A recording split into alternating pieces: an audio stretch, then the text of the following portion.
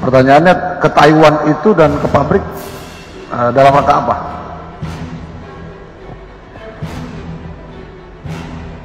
Eh,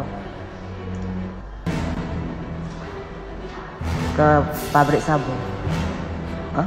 ke pabrik sabu jadi begini waktu saya gagal Pabrik sabu. betul jadi waktu saya gagal di laut Cina eh, itu saya udah minta maaf katanya hmm, Pak Teddy bilang begini kamu kenal nggak sama yang bandar yang di sana? Saya bilang. Ada Pak Teddy. Pak Teddy bilang begini begini aja kita ke sana kalau mereka mau kirim kita kawal. Maksudnya gimana Pak Teddy? Ya bilang aja buy one get one. Bilang begitu.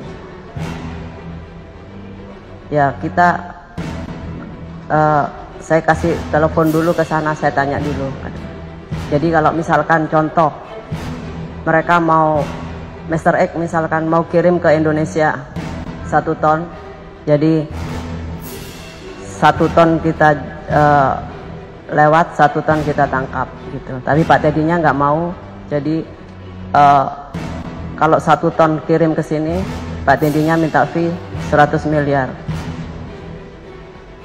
jadi saya ke sana ketemu dengan Mr. X waktu itu saya tiga kali saya ke Taiwan dengan Pak Teddy Oke, berarti ke pabrik di Taiwan yang diungkap dalam Pak Teddy Menasa di dalam BAP-nya itu pabrik sabu. pabrik sabu Namun berbeda cerita dengan Laut Cina Selatan yang mau menangkap di sini untuk menjebak saya gimana?